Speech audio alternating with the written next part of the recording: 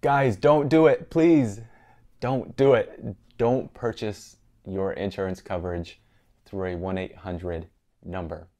These people don't know you.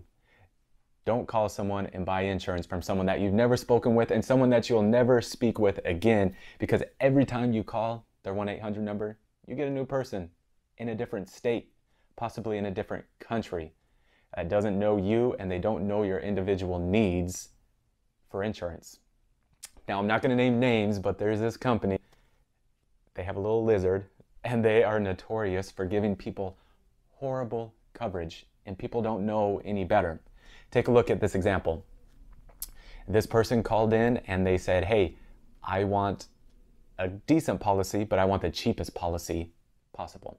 And so, what did this company do? They cut this person's liability limits here down to the state minimum essentially giving them no coverage at all. And then, even worse, they're uninsured and underinsured. They rejected that coverage, leaving them extremely exposed if they were ever hit by a driver who didn't have enough insurance or who didn't have any insurance.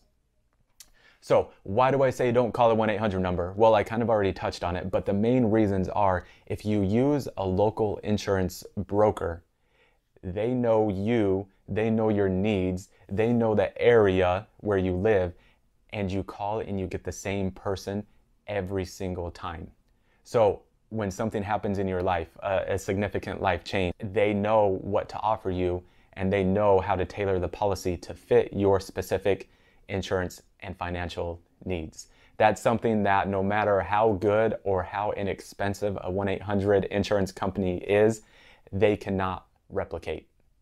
And here's the thing if you work with a broker that has access to multiple companies, they're going to be able to find you something that's extremely less expensive than these 1 800 numbers to begin with. They're going to give you better coverage and they're going to find you better rates.